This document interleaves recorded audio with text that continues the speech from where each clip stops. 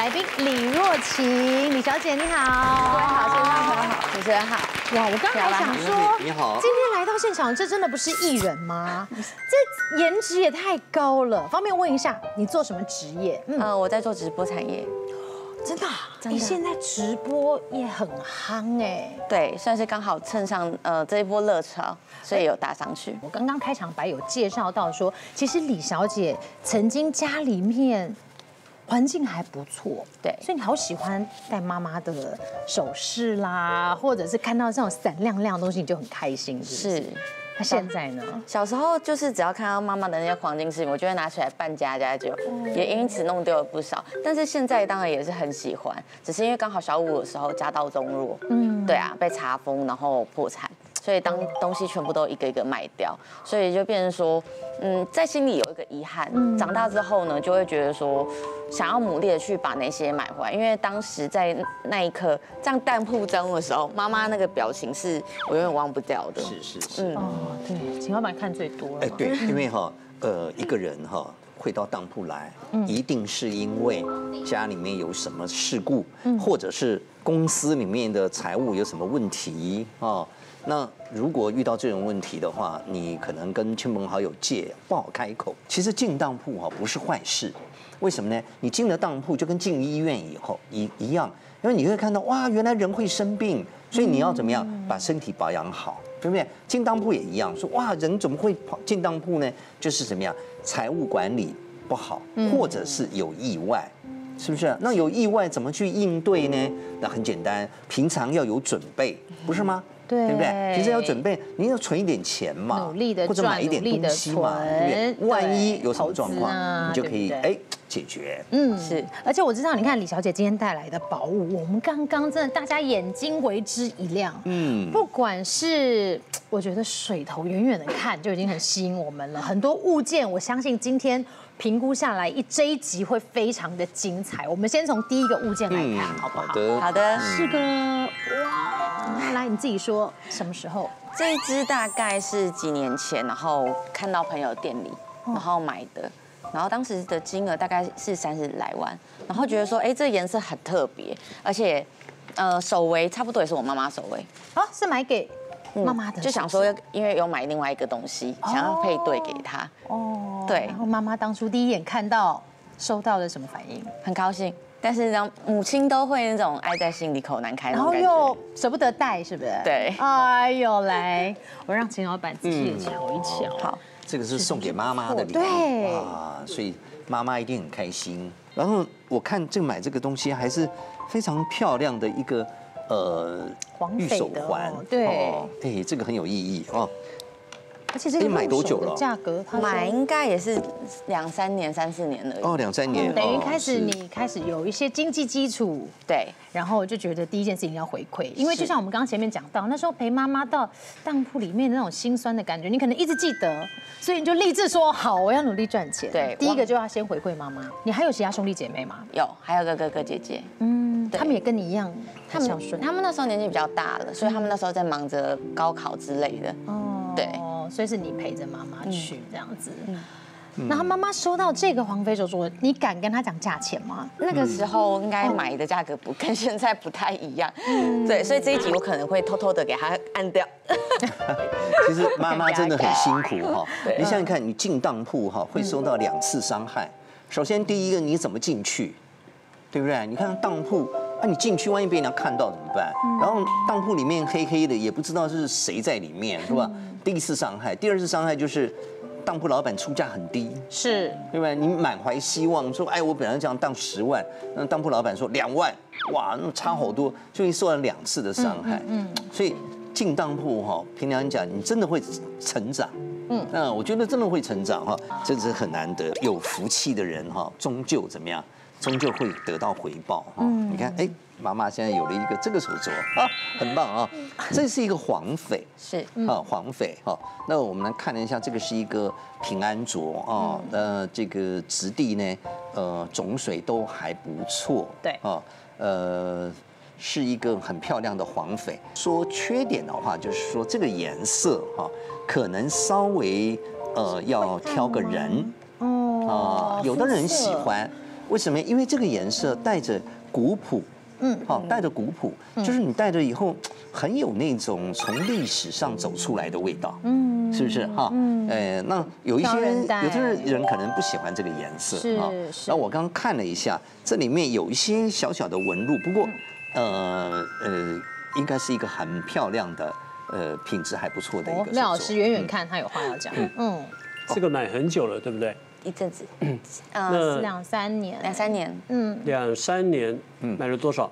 大概三十几吧，三十几万。三十来万。好，我们讲这个颜色，刚刚秦老板有讲，它不是主流色，嗯，这个的话带褐色。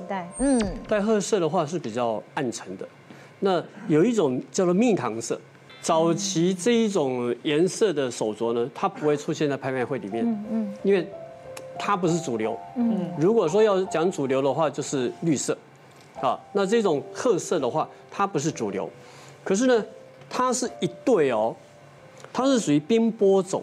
嗯，这一对当初拍卖在二零一六年的时候，呃，四家拍卖公司里面有七个手镯都是绿色的，然后呢有五个流拍，你知道他拍了多少吗？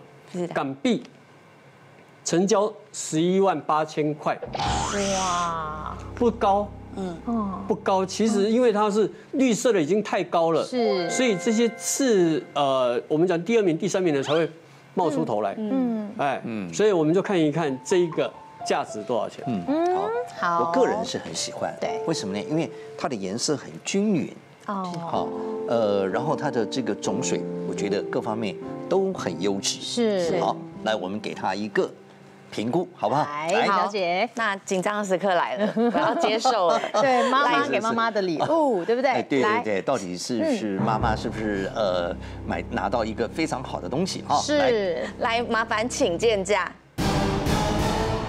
三十五万哎，元，物有所值，可以啊，可以啊，你就是买三十九。可 以可以，漂亮啊，很漂亮。我看看，我刚我看到高志的反应，我我想问一下高志，你有没有送过妈妈这么贵的礼物？没有哎，完全没有，没关系，我觉得高志就可以把李小姐当做一个很好的范本，努力赚钱，而且你看看哦，眼光很精准。虽然是在朋友的店嘛，对，对看到了被骗风险也比较低一点，但是第一件我觉得就已经算是还蛮好的。这集妈妈应该可以看的，可以看，可以看带出去也是心安这样。是是是第二个手镯，哇，你看看来看，来，哎呦呦呦，你看这个紫，哇，非常漂亮啊刚！刚那一黄一紫，这紫是买给自己的吗？对。嗯，那时候因为刚好是自己的手围，然后我很喜欢紫色，嗯我非常喜欢紫色，所以那时候算是，呃，花了很多心思，然后去找一只紫镯，然后看到这一只的时候，想哦，这么巧，刚好是我自己的手围，我不知道，就秦老板，您看这么多紫的手镯，是。这个紫紫的怎么样？这个这个紫色哈，紫的非常俏丽，哦，呃，基本上呃紫罗兰哈，嗯，最重要的是它的种，因为有些种啊，它颗粒太大，啊，透度水头不好，那紫罗兰光紫还没用，嗯。紫一定要透，这是紫跟水的两个部分，一定要特别注意。嗯，那这个我们觉得说，哎，这个手环就完全符合我刚才提到的哈，是。水头跟颜色哦，这个这个紫的很浓郁，嗯，啊，呃，这个我觉得是一个很漂亮的手作。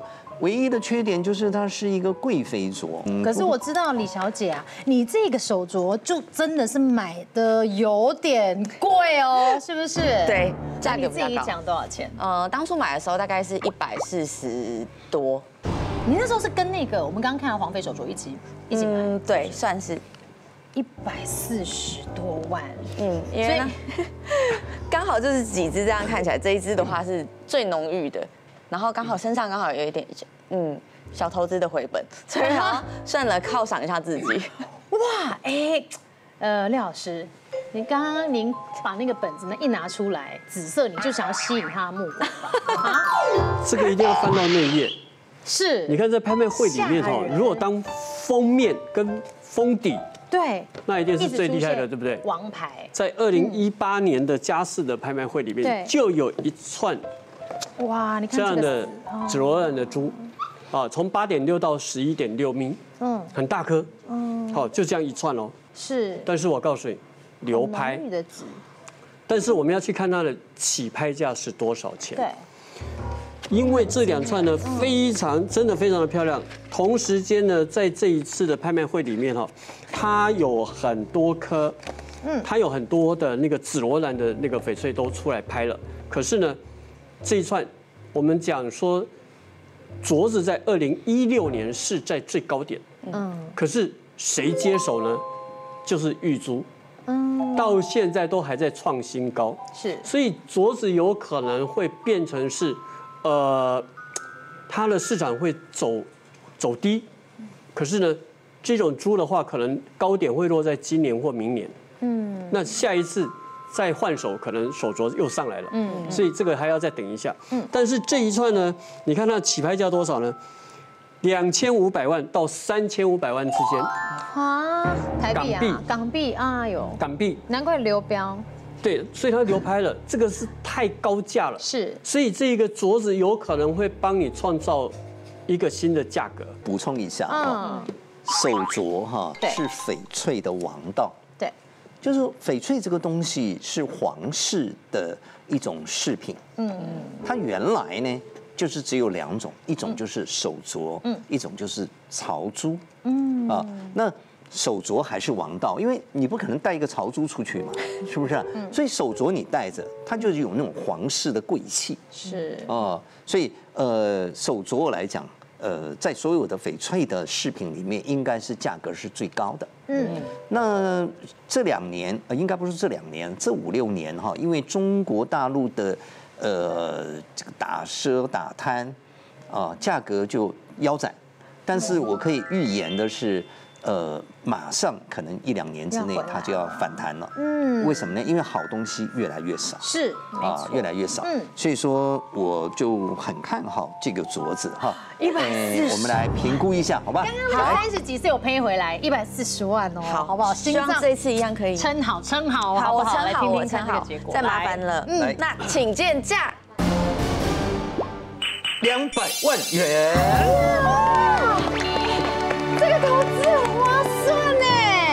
因为哈，因为这个地方哈还是带了一点点绿。对是哈，这是它的美中不足之处了哈嗯。呃，如果它是呃圆古镯，嗯或者它没有这个绿，我想在三百到四百之间哈嗯好。哎，这个真的是很漂亮。呃，应该讲说是紫罗兰里面的上品。嗯谢谢，谢谢老板。今天你看看才第二件宝物，我们就已经看到两件都是非常优质的镯子。来，我想我来补充一下新闻，对各位可能对于这个时事的新闻呢，要稍微有点关注一下。嗯，缅甸政变，是缅甸政变会不会影响后续的市场？它没有流血政变，那没有流血政变呢？呃，马照跑，舞照跳。嗯，所以这个矿坑呢，还有呃这个第五十九届的一个公盘啊，它可能照常举行，因为光是这个公盘，呃，造就缅甸的 GDP 超过二十趴，哎，对不对？缅甸就是靠这个在赚钱的，是。所以它还是会开公盘。嗯嗯，那这个价格呢，会不会往上推推升？因为这些矿坑矿坑还是继续挖，嗯，然后呢，这这些工人他还是在继续做工，是，所以呢，这个市场还是会有的。还蛮稳哎，定那。只是说 COVID-19 的关系哈，所以造成那个我们整个运送的过程对。会有点麻烦。但是你看那个运费增加，那么加在这上面？它还是会加在上面放成本啊，一颗石头要运到 运运到那个解氧这边来切，或者是要运到什么地方切，都还是要增加运费的。嗯，呃，人人事成本都会增高，哎，但是不会差太多。好，所以大家不用太紧张啦。